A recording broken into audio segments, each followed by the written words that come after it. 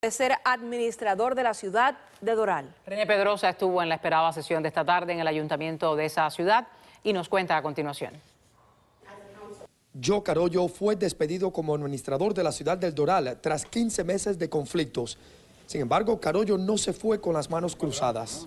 Desde el año 2013, en marzo, yo he estado cooperando con diferentes agencias investigativas, tanto a nivel federal como a nivel local, que están investigando corrupción en Doral y corrupción de personas que se sienten ahí. Su despido se produjo en una reunión especial pedida por la presidenta del Consejo del Doral, Cristi Fraga.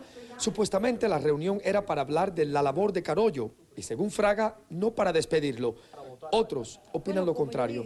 si parece un pato, camina como un pato, es un pato. Ella puede haber dicho lo que dijo, pero esto es lo que, lo que se, se pensó que iba a pasar, pasó.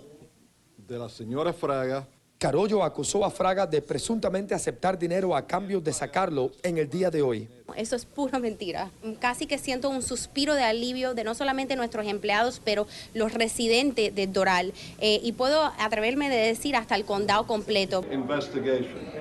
A favor de despedir a Carollo estuvieron Fraga, Sandra Ruiz y el alcalde Luigi Boria. Las personas, los tres que votaron para votarme en el día de hoy, saben muy bien de investigaciones que están andando, porque ellos mismos lo han dicho, las supinas, o sea, la orden judicial para archivos financieros y para otras cosas que han llegado. Por su parte, Ana María Rodríguez y Bettina Rodríguez Aguilera estuvieron en contra. En varias ocasiones, la propia Rodríguez Aguilera tuvo fuertes intercambios con Boria. Hasta le dijo,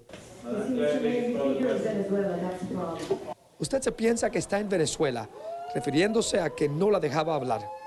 En sus pantallas están viendo a José Olivo, director de Obras Públicas de la ciudad del Doral, el administrador interino por ahora, hasta que este consejo escoja a un nuevo administrador. Hasta el momento no han fijado una fecha para escogerlo.